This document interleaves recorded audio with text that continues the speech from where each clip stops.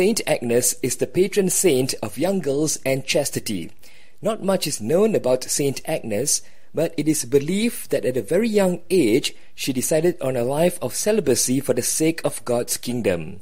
Agnes's beauty and charm drew attention of suitors from the Roman aristocracy, but she declined marriage offers saying she had already promised herself to a heavenly and unseen spouse. For this she was reported to Emperor Diocletian to be a Christian and martyred to death. Legend says she was put into a brothel and the first man who approached her was struck blind by a sudden flash of light. She was later beheaded. She was only thirteen when she was martyred in year 304.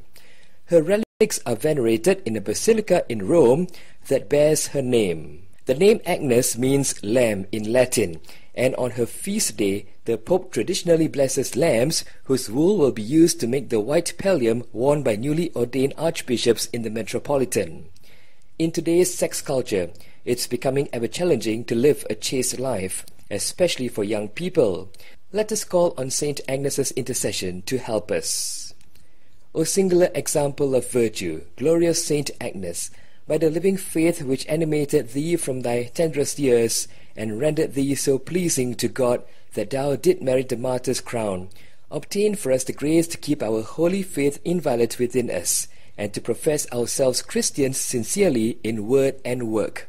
May our open confession of Jesus before men cause him to bear a favorable witness to us before his eternal Father.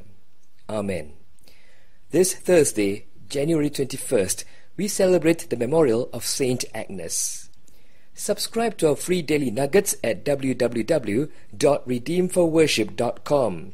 This daily nugget is brought to you by Redeemed for Worship. Heroes of the faith,